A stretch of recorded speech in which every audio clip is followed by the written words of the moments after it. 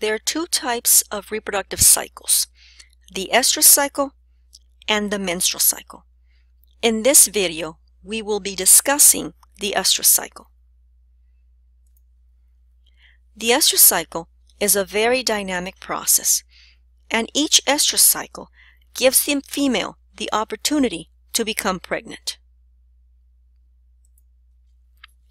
The estrous cycle is comprised of two phases, the follicular phase and the luteal phase.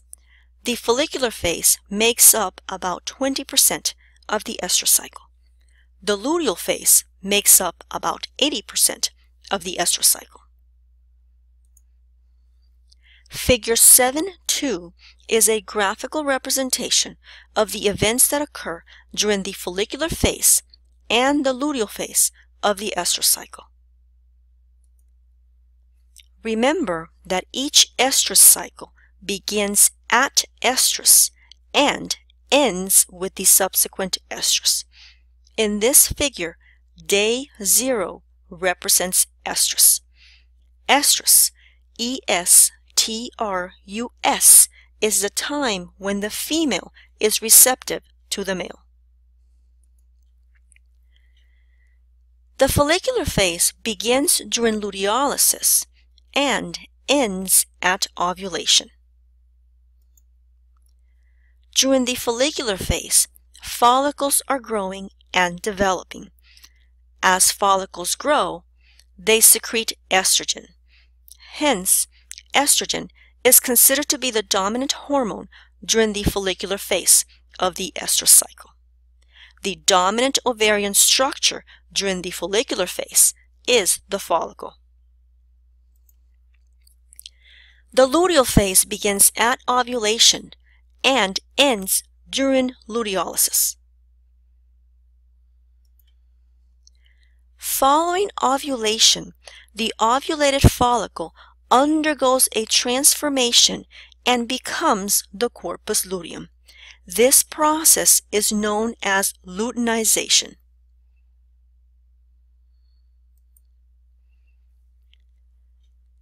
During the luteal phase, the dominant ovarian structure that is present is the corpus luteum. The corpus luteum is the structure that is secreting progesterone. Hence, progesterone is the dominant hormone present during the luteal phase. Figure 7-3 is a graphic representation of the four stages that are present within the estrous cycle. The estrous cycle is comprised of four stages, proestrus, estrus, metestrus, and diestrus. Proestrus and diestrus are part of the follicular phase of the estrous cycle. Metestrus and diestrus are part of the luteal phase of the estrous cycle. Proestrus is the period between the time the corpus luteum regresses and the onset of estrus.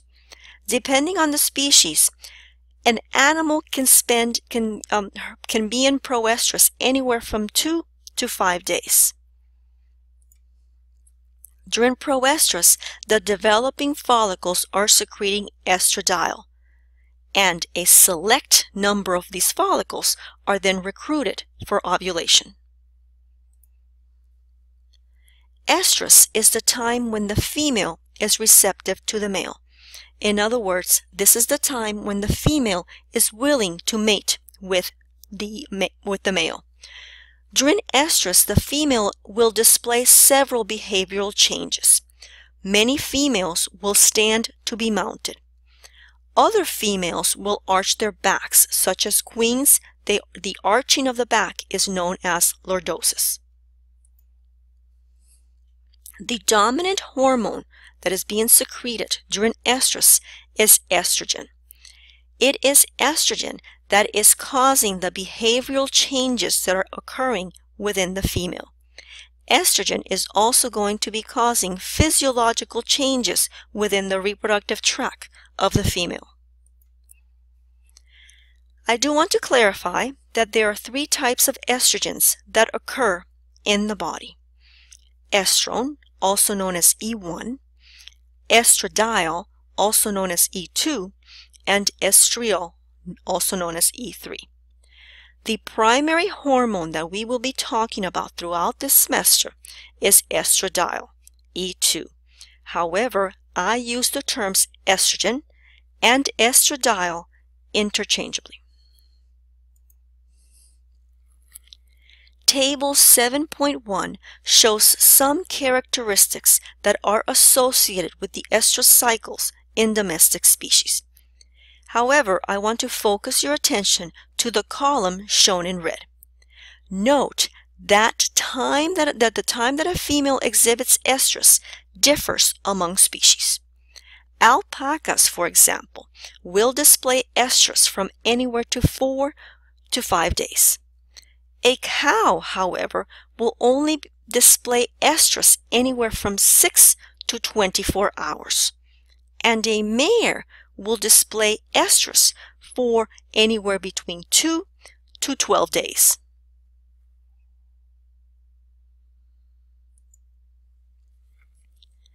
Metestrus is the period between ovulation and the formation of the corpus luteum. During early metestrus, the levels of both estrogen and progesterone are low. During this time, the ovulated follicle is undergoing the transformation to become the corpus luteum. The process of luteinization is occurring. I do want to make sure that you keep your terminology straight.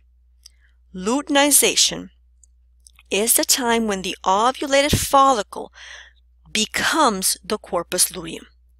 Luteolysis, however, is the regression of the corpus luteum. Diestrus is the longest stage of the estrous cycle.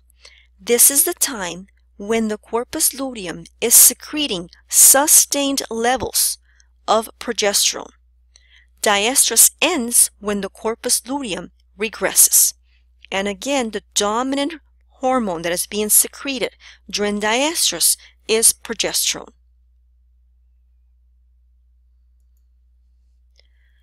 Please make sure to study figures 7.2 and 7.3 carefully. I thank you for your attention. Bye.